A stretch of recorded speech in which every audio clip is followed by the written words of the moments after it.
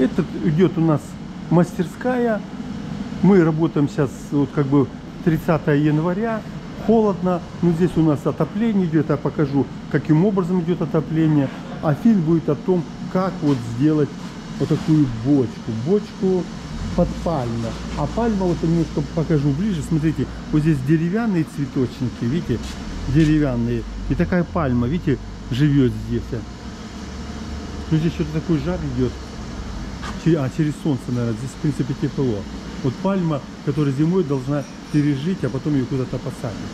Это Ставропольский край. Ну, не знаю, как здесь пальмы будут жить, ну, уже здесь растут пальмы. Ну, в Сочи пальмы растут, а в Ставрополе мы посмотрим. Ну, вот идет о том, что пальма должна жить вот в этой бочке. Вот так она выглядит. Здесь напишем пальма Магадаскар или откуда у них, у них название, а внутри они выглядят вот так. Не знаю, видно, вот видно, да. Здесь потом просверлим дырки, если они нужны, ну, чтобы была дренажная система. Вот видите, вот бочка вот такая вот. А здесь вот уже мы вчера начали делать и четыре бочки сделали. Вот здесь немножечко, видите, по-другому бочка сделана. Ну, смысл один и тот же. Я сейчас покажу уже и черновые там на улице бочки. А вот есть черновая бочка. Смотрите, вот есть вот такая черновая бочка, которую подготовили, вывели каркас. Вот так она выглядит уже внутри начисто, а снаружи она вот так выглядит, видите? И теперь вот рядом делается подготовка. Вот мастер берет, э, штукатурит ее, а потом намечает доски и будет делать э, ну, уже лепку.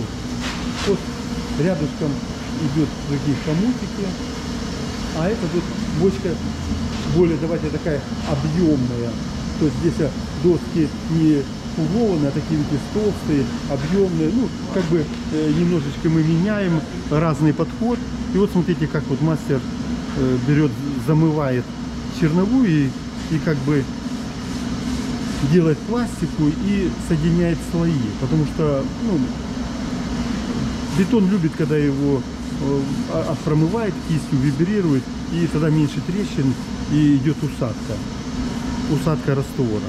То есть замывка, ну здесь песок как бы хороший, он не рвет, это где много глины э, в растворе, там идет микротрещины. Мы делаем арт-бетон один к двум.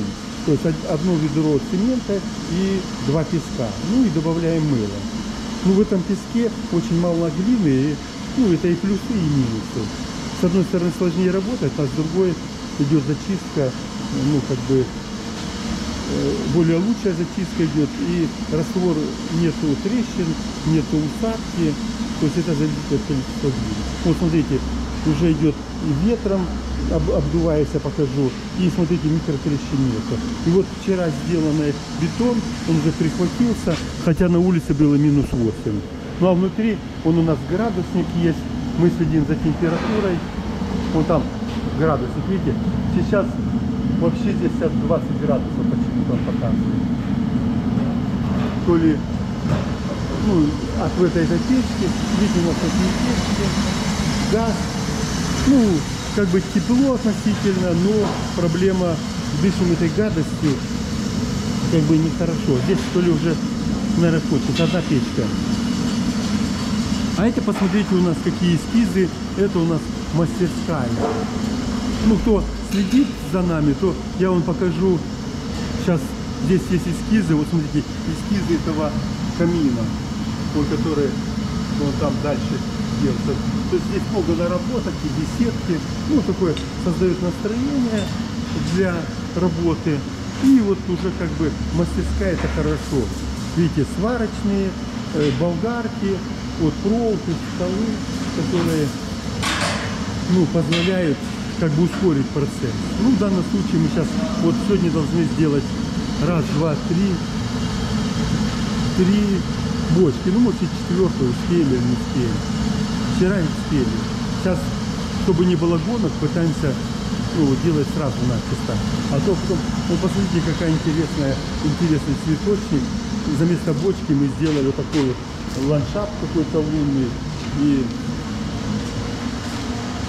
ну, как бы ее Ну, потом или перепокраски я покажу, будет. Смотрите, какая интересная а, как бы композиция. Я потом вам эскизы покажу. 20 лет назад их нарисовали, и только сейчас мы их реализовываем вот в натуру. Вот такой, как, как космический вазон.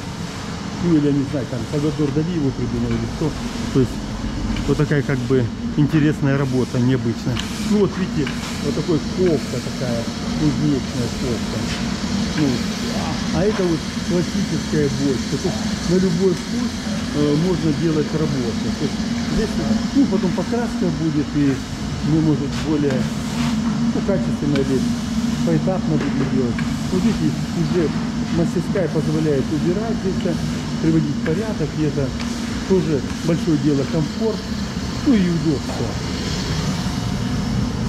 Я вам сейчас не, леню, не поленюсь, покажу эскизы. Вот смотрите, какие эскизы цветочников.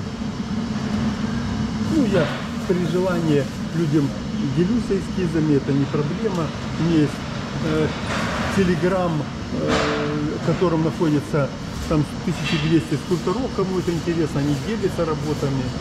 Ну, кому интересно, есть ссылка в фильме на телеграм-канал, или как он правильно называется, на, на группу в телеграме, где многие присылают свои фильмы, я показываю на своем канале не только свои работы, а работы разных мастеров. Вот смотрите, вот и лавочки такие, и вот грибочки, и вот что такое не хочет, что это ну, доступно для любого художника, секретов нету, берите, работайте, делайте.